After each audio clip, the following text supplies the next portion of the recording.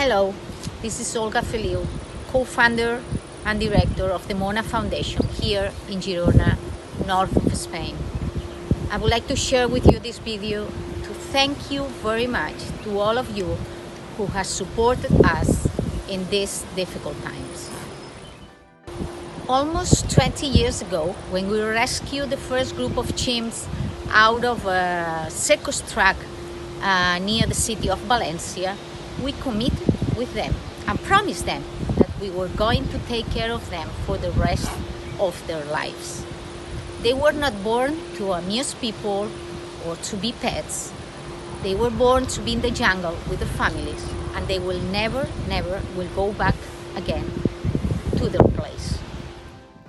Marco, Charlie, and our lovely Tony are still with us after almost 20 years and they know that we are not going to defeat. Times are complicated for everyone, but we cannot give up. I'm here to ask you please help us to reach more people to support the chimps. Maybe your friends, your family, or your colleagues.